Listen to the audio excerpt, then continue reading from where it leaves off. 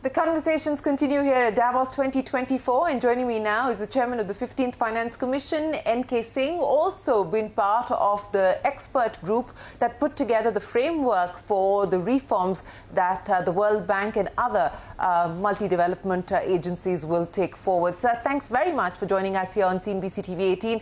Let me start by uh, talking to you about the announcement that's made uh, back home on the chairperson of the 16th Finance Commission, Arvind Panagaria, will take over over from you. Uh, what's your expectation now for the 16th Finance Commission?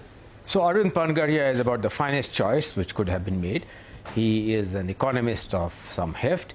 He was the vice chairman of the Niti Aayog and a personal friend of mine. I think that uh, the Prime Minister, as usual, has made an impeccable choice in selecting Arvind Panagaria and the challenges which he will face. I mean, my the award of my commission, 15th, uh, will continue till he gives his report. In, he will give his report uh, on 31st of October 2025. Till then, of course, the 15th Finance Commission's award, which is normal, mm -hmm. will continue my award for six years. I think his challenges are uh, as high as all challenges are, namely not only distribution of resources between the union and the states, but among the states in terms of the parameters which he, which he selects, and which the Commission chooses to select under him, particularly with the fact that uh, the issues of global warming, climate change mm. are going to certainly occupy not only the attention of the Indian states and the central government, but has a global focus. And that's an area which has been added as a new additional dimension, really, to the 16th Finance Commission. Although, typically speaking, it has adhered to the constitutional requirements, it has adhered to all the key components finance commissions are expected to make their recommendations. You know, you spoke about some of the additions that the 16th Finance Commission will have to look at. While you were putting together your recommendations as part of the 15th Finance Commission, there was a lot of discussion and debate on the devolution formula that was finally arrived at. Uh, you know, how much of it should be linked to actual performance of states on various indicators and so on and so forth. As the 16th Finance Commission gets down to its business, uh, you know, what is it that you would like to put down on the table in terms of, uh, of guidance? No Finance Commission would be presumptuous to give its guidance to successor commissions. And that's one of the rules which, uh, or a convention, which we have happily followed.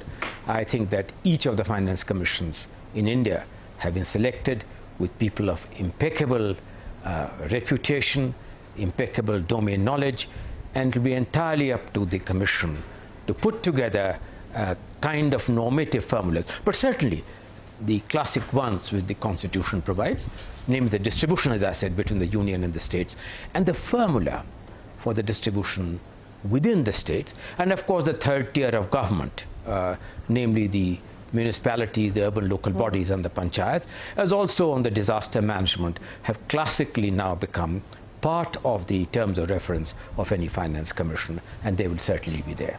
You know, uh, the centre and the states are represented here in Davos, and the, the promenade has virtually been taken over by uh, India, India pavilions. Well, that's a very vibrant example of, of a federation which is functioning, which is functional, and which certainly wants to make its voice felt. But what are the implications that you see of this sort of vibrant, uh, uh, competitive federalism that is on display here, uh, you know, not just uh, in Davos, but on the ground as well, and the impact and the implications that it has for the economy going forward? I think that, in my view, that is a very positive sign. Uh, not uh, a populist federal compact, but a competitive federal compact a comparative federal compact which wants to take the advantage of the world's belief and growing world's belief on India's overall macroeconomic stability, on the fact that the growth story in India, which has begun to flower, is embedded in very enlightened, sagacious, continued political stability with far reaching structural reforms becoming part of the mainstream of the government's governance policy. Well, speaking of reforms, uh, you know, the, the roadmap and the framework that you've put together as part of the committee that worked on the reforms for the World Bank and other multilateral development uh, institutions, uh, given the, the many challenges that the world faces today, there is a sense of urgency on the need for these reforms to move forward and faster.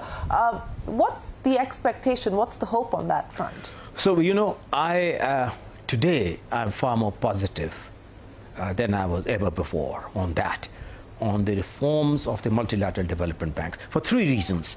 First of all, I think that uh, we put together our two volume report in record time, addressing a record number of issues on the architecture of the financial module, which would serve the world well. And we were really pleasantly surprised that the leadership which the Prime Minister Modi had provided, he had talked of, uh, you know, Shereen, he had talked of reforming the multilateral development banks in much before India had assumed the presidency mm. of the G20. And so it was therefore not surprising that after uh, India had assumed the presidency, it was decided to have an expert group, which, of which I was privileged, along with Larry Summers, and a very distinguished membership, to put together this two volume report. Nobody expected that progress would be so rapid. The G20 in the annual, at the annual meeting of the IMF and World Bank in Marrakesh adopted our recommendations. 30 important recommendations which we have made. 30 important recommendations on how to make them make the multilateral development banks better, bolder, and bigger. Better in terms of being able to service the clients, better in terms of exchanging of ideas, better in terms of multilateral development banks acting in close tandem with each other, mm. bolder in terms of taking informed risk, risk decisions, bolder in terms of being able to harness private capital, and to do so in the same fashion as they have harnessed earlier. You know, Shereen, are the $22 billion which has been capitalized in the World Bank, they have been able to lend 700 to $900 billion, a leveraging of seven times. But alas, for private capital, they have been more timid. So how to take more informed risk decision in being able to harness private capital. That will make this a bolder, bigger, bigger in terms of being able to lend three times what they have been able to lend so far by optimizing their balance sheet mm. and of course hopefully recapitalizing the balance sheet which will enable them to lend not $120 billion all taken together, but to be able to get to close to $500 billion, which when added with private capital and domestic capital mobilization will really hope to get to the $400 billion mark, which has been generally assumed by global experts of the kind of sums needed for addressing the challenges not only of development, yeah.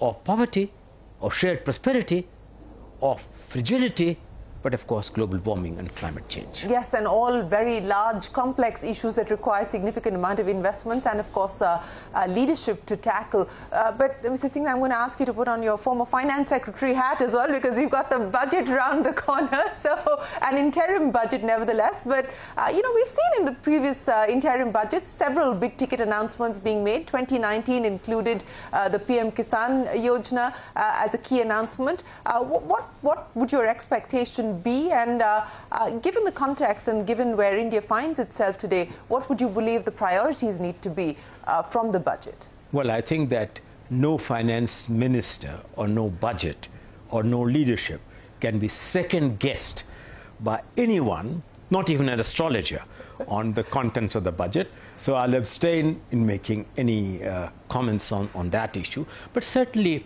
one expects that uh, there would be no rollback on the ongoing reform momentum, uh, on the continuation of a stable macroeconomic framework, on the symmetry which has been achieved between a sound fiscal policy coupled with a monetary policy which has been conducive to growth. I expect these to be continued even during the period of the interim budget, before, of course, the full budget, which will come in July after the general elections. You've been speaking with leaders here, uh, including uh, you know people who do have interests in India. Uh, if I could ask you to sum up the mood at this point in time, uh, what would it be? Optimistic expectant, bullish as global bright spot in terms of all the enveloping uncertainties optimistic, bullish, expectant. That's the mood. NK Singh, always a pleasure. Many thanks for joining us here in Davos. Thank you so much for your time. We appreciate you joining us here on CNBC TV 18. We are going to take a break here. The conversations will continue. It's starting to snow, but we're going to be right back with more headliners on CNBC TV 18 after this short break.